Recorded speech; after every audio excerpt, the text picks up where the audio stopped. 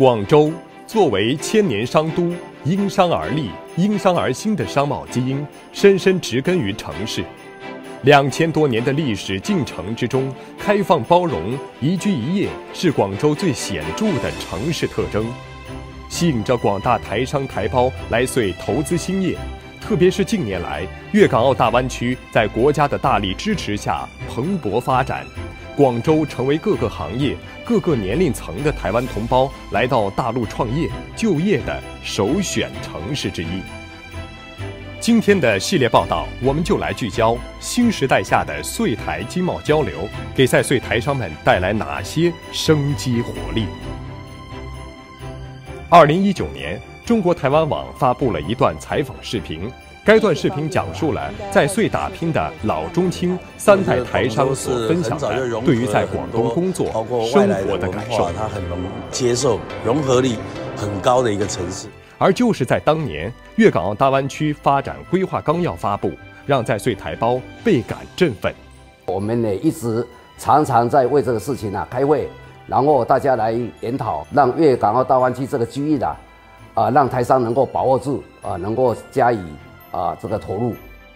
从台湾来到广州，台商王庆祥是现任广州台协会长，他经商三十余年，已把广州当成第二故乡。三十余年来，他先后在广州创立劳保眼镜加工厂、酒店、文创园区，从传统加工制造业转型升级到服务业，可以说是大批在穗台商的缩影。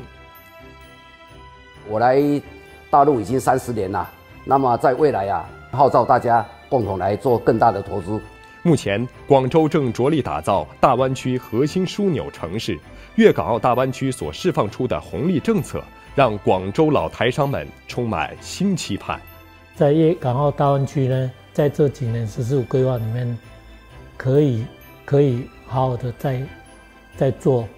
再干一场。“十四五”规划已经开始启动了，对二零三五年以后的长远计划也做出了规划。我们台商其实大家都很很热心的，能够能够参与，而且未来呀，我们也希望能够增加更大的投资。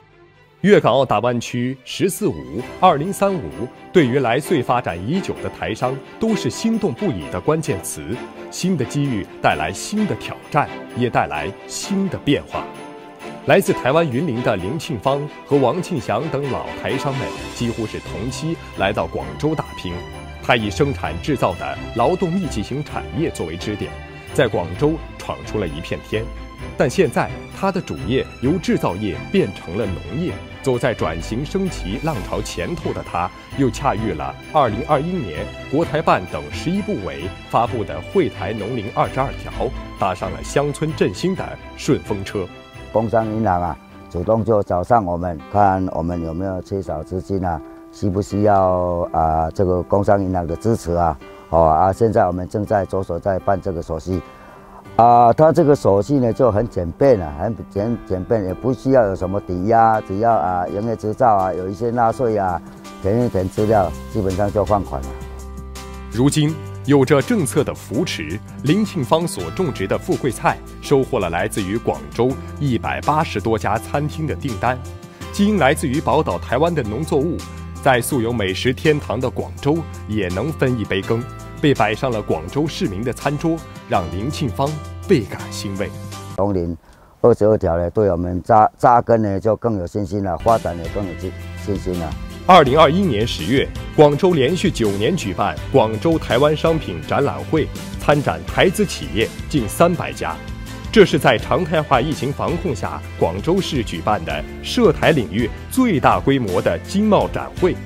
疫情割不断穗台两岸经贸交流，也更加深了两地企业家的融合发展。